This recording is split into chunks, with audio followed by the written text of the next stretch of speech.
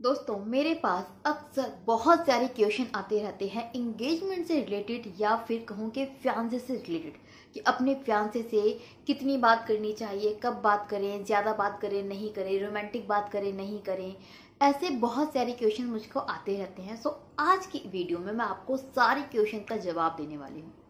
शुरू करते हैं वीडियो सबसे पहला क्वेश्चन कि इंगेजमेंट के कितने टाइम बाद आपको अपने फ्यांसे से कॉल करना चाहिए, उससे बात करनी चाहिए।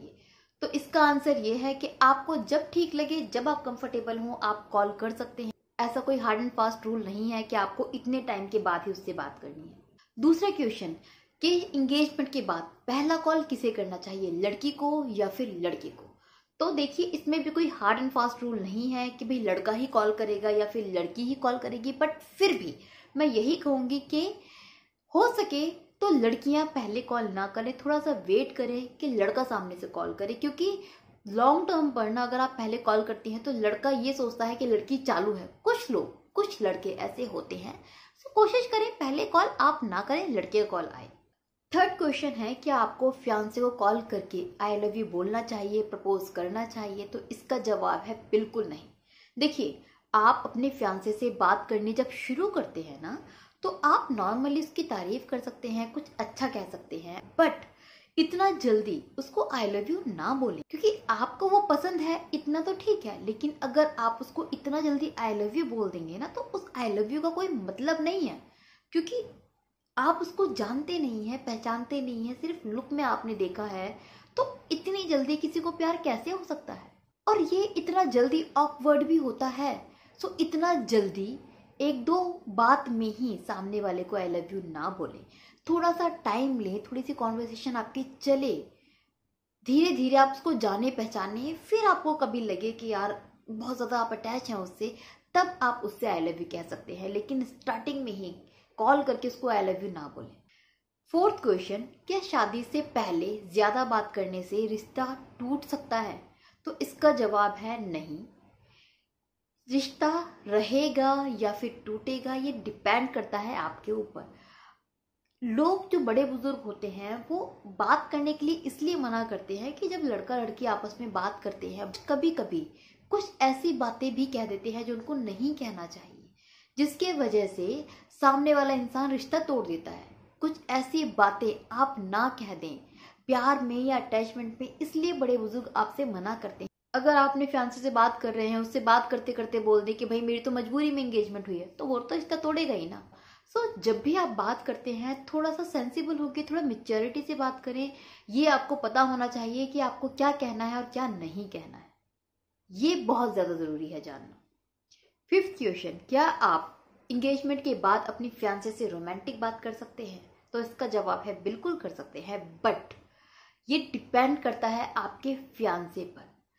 ऐसा ना हो कि वो कंफर्टेबल नहीं है और आप बस इसलिए रोमांटिक बात कर रहे हैं क्योंकि वो आपकी फ्यान से है। ऐसा ना करें। ये डिपेंड तो लोगों के ऊपर करता है। अगर आप दोनों आपस में फ्रैंक हैं कंफर्टेबल हैं, आप बहुत लंबे टाइम से बात कर रहे हैं तो ठीक है, आप रोमांटिक भी हो सकते हैं।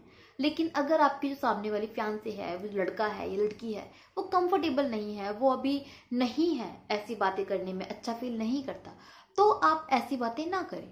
सो ये डिपेंड करता है आप दोनों की अंडरस्टैंडिंग पे आप दोनों के कंफर्ट लेवल पर। अगला क्वेश्चन अगर आपकी जो फ्यान से है वो आपसे बात नहीं करती आपसे बात करते हुए कतराती है आपको सामने से कॉल नहीं करती तो उसका क्या मतलब है?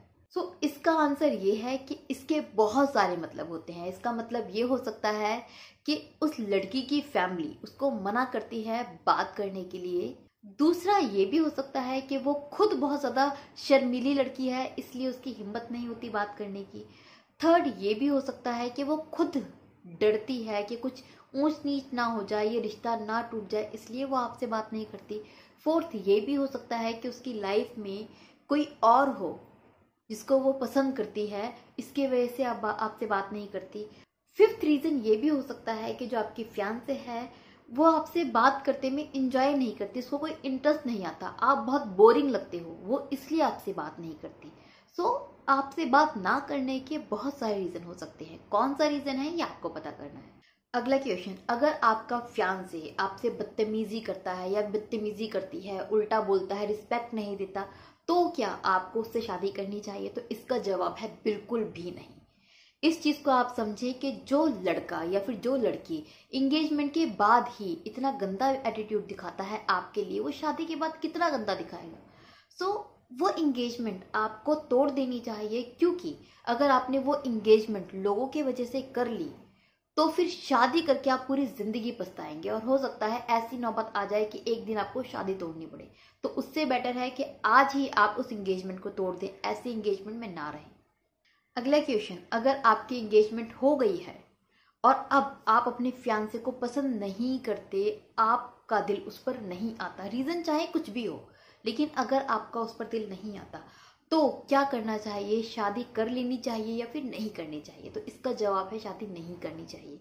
सेम कि जिसके ऊपर आपका दिल अभी ही नहीं आ रहा है शादी के बाद क्या खाक आएगा?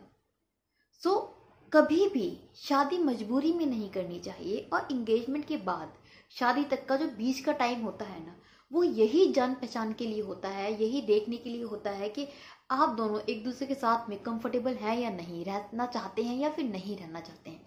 इस बीच किसी भी रीजन से अगर आपको ये लगता है कि आप उसके साथ में नहीं रहना चाहते, आप उसे पसंद नहीं करते तो उस इंगेजमेंट को तोड़ दीजिए क्योंकि ऐसे इंसान से शादी करके आप अपनी ज़िंदगी तो खराब करेंगे साथ ही साथ उस इंसान की भी ज़िंदगी खराब ही करेंगे। सो so, जिस इंगेजमेंट में आप खुश नहीं है उस इंसान से शादी ना करें। सो so, ये थे वो सारे क्वेश्चन जो अभी तक मेरे पास मेल में अक्सर अलग अलग लोगों ने पूछे हैं। तो उन सारे क्वेश्चन का समअप था इस वीडियो में।